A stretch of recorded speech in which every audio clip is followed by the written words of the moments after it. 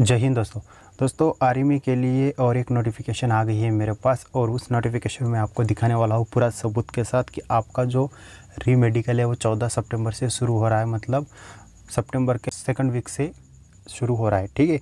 और बहुत ही जल्द आपका एडमिट कार्ड भी आने वाला है। आपको, आपके लिए बहुत बड़ी खुशखबरी है आर्मी कैंडिडेट्स के लिए। आप तैयार रहिएगा, ठीक है? तो चलिए, वो नोटिफिकेशन में क्या जानकारी दी गई है, आपको पूरा सबूत के साथ आप इस वीडियो में आपको दिखाने वाला हूँ। बहुत सारे भाई ने मैंने पहली वीडियो अपलोड की थी, जब नोटिफिकेशन आई थी आर्मी के लिए।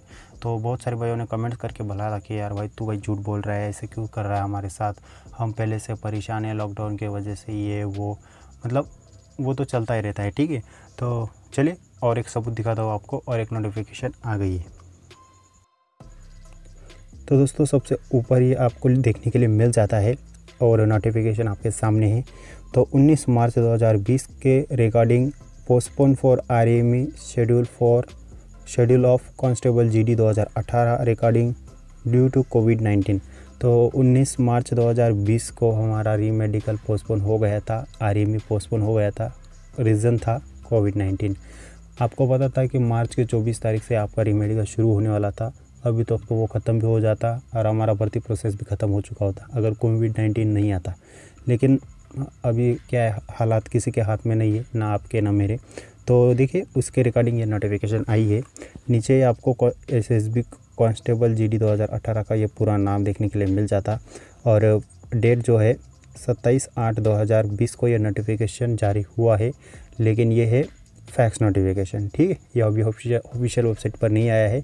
और ये प्रोसीजर दो है टेंटेटिव शेड्यूल डेट जो आरएमवी का है, वो सेकंड वीक ऑफ़ सितंबर 2020 है। तो यहाँ पे जो प्रोसेस है, वो कंप्लीट टेंटेटिव मतलब इस डेट में चेंजेस वगैरह हो सकते हैं, ऐसा उन्होंने बोला है, लेकिन कोई चेंजेस नहीं होते हैं, ठीक है?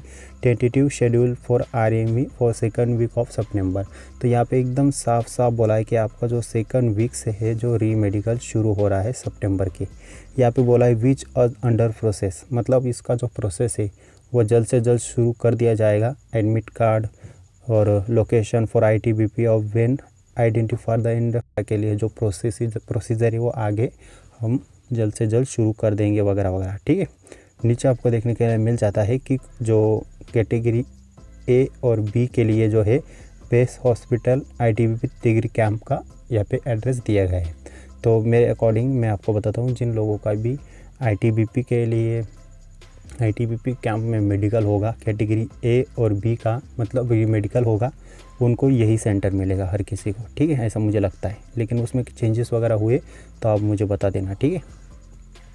नीचे जो है आपका, कैटेगरी सी वालों को के लिए जो है बी बत्तीस B N I T P Kanpur centre है, तैंतीस B N I T P Guwahati centre है, चालीस B N I T P Ranchi, पचास B N I T P Panchkula ठीक है, उस नीचे नीचे जो है आई टी बी शिवपुरी और आई टी बी सिमदवारा और इसके बाद है जो आर टी सी तमिलनाडु, ठीक है। ये सारे कैंप्स जो दे दिए गए हैं और नीचे जो है final schedule of RME centre wise number of candidate to be appeared in RME and centre wise number और RME board to be detail will be inferred on hiring room the nodal forces CRPF तो नीचे जो है सारी जानकारी दी गई कि जल्द से जल्द इस पर कार्रवाई की जाएगी, ये वो, ठीक है? नीचे का हमारा ज़्यादा कुछ काम का नहीं है, लेकिन जो काम की चीज़ थी, वो हमारे लिए ऊपर ही थी, ठीक है? तो यहाँ पे बोला गया है कि आपका जो है सेकंड वीक ऑफ़ सितंबर से आपका री मेडिकल शुरू हो रहा है आर शुरू हो रहा है, ठीक? तो दोस्तों, आप सबके लिए बेस्ट ऑफ़ लक और जितने भी हमारे भाई हैं, उन सबको बेस्ट ऑफ़ लक तो दोस्तों, जिन भाइयों को भी अभी तक इन नोटिफिकेशन पर भरोसा नहीं है, वो जल्द से जल्द भरोसा कर लो, क्योंकि आपका एडमिट कार्ड सीआरपीएफ के ऑफिशियल वेबसाइट पर बहुत ही जल्द आपको देखने के लिए मिल जाएगा। और इसमें जो है, आपकी सारी डेट्स वगैरह बताई गई है, ठीक है, कि किस, जैसे जित, जितने भी बिहार के कैंडिडेट थे, जिनका यहाँ पे री मेडि सॉरी मेडिकल हुआ था, इन सारे कैंप्स का मेडिकल जो है कंप्लीट यहाँ पे करवाने वाले हैं। ठीक है? यहाँ पे करवाने वाले हैं जो इन सेंटर्स पे। ठीक है? और ये जितने भी उत्तर प्रदेश में कैंडिडेट थे, उनका मेडिकल इन सारे सेंटर्स पे हुआ था। ठीक है? इन सारे सेंटर्स पे अब ये उनका आर जो है, इस सेंटर पे होने वाला है। तो ये आप इस नोटिफिकेशन को थोड़ा ठीक से पढ़ोगे तो आपको ही पता चल जाएगा कि आपका री मेडिकल कहाँ होने वाला है। ठीक इस नोटिफिकेशन को भी ठीक से पढ़िएगा। यहाँ पे जो है आपके पूरा A B total candidates male यहाँ पे ए बी फीमेल पूरे टोटल कैंडिडेट्स यहाँ और ग्रैंड टोटल कैंडिडेट पूरे यहाँ पे दिए गए। लेकिन मुझे एक डाउट है इस नोटिफिकेशन पर। इस नोटिफिकेशन में सिर्फ़ ग्यारह हज़ार आठ सौ छियालीस कैंडिडेट्स के ही नाम है। तो मुझे ऐसा लगता है कि ये नोटिफिकेशन आधा अधूरा है। इसमें सिर्फ़ और सिर्फ़ जो डेट्स है तो दोस्तों इसमें जो डेट्स है, वो डेट्स ही बराबर है सिर्फ़। ठीक है?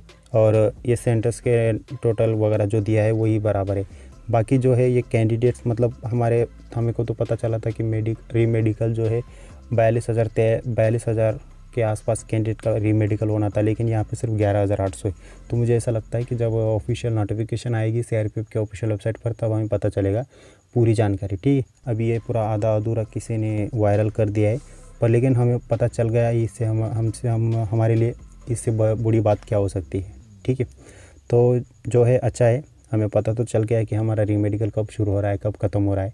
लेकिन ये जो नोटिफिकेशन है, ये मुझे आधा अधूरा लगता है, ठीक है? इसमें पूरी जानकारी नहीं दी गई है, क्योंकि बयालीस हज़ार लोगों का रीमेडिकल करवाना है और यहाँ पे सिर्फ़ ग्यारह हज़ार लोगों का ही नाम है।